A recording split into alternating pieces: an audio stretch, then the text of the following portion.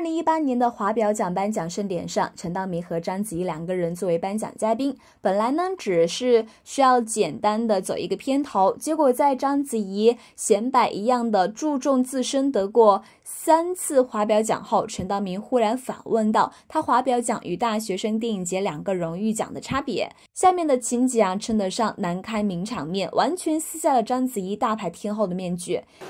那么华表奖就。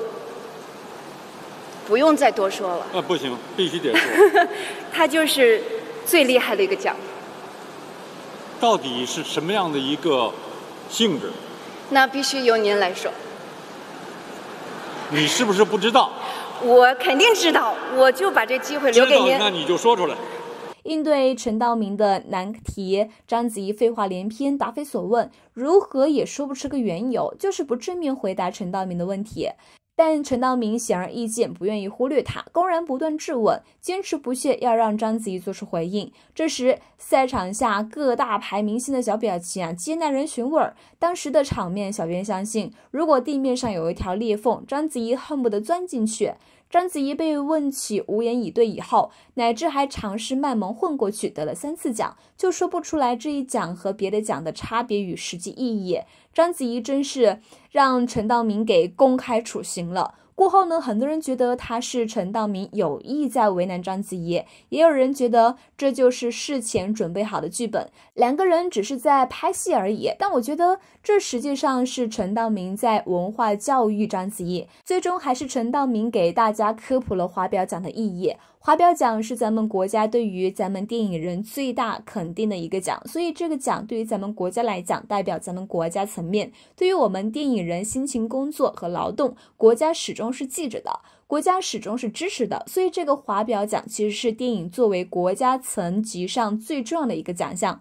华表奖作为在我国官方网举办的荣誉奖，意味着在我国对电影产业以及影视人的高度重视。结果四次候选人三次获奖的章子怡却答不出来这一奖有啥实际意义。陈道明便是想让章子怡记牢这难堪的一刻，别忘记我国开设这一荣誉奖的初心。其实陈道明之前呢，他就以爱岗敬业这一难题抨击过很多说白了的小鲜肉明星。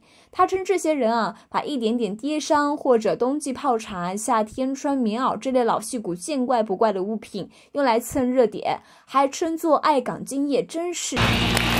在和李成儒合作的一场戏中，那场戏李成儒要掌掴陈道明，演戏演戏就是要演嘛。李成儒也是假装打上去，暗地里并没有用力气，导演没有说什么。陈道明不高兴了，对李成儒是一顿数落呀。演员既然要演好戏，就应该真实的把人物的情感表达出来，该打的时候一定要打出来。最终我这个人物欺负你妹妹，你就一点也不愤怒吗？李成儒也是很佩服陈道明，再次演的时候也是实打实的。如今已经是中国电视艺术家协会委员、中国电影家协会主席，逐渐退居二线，把舞台让给了年轻人。对于陈道明这个人，大家有什么看法呢？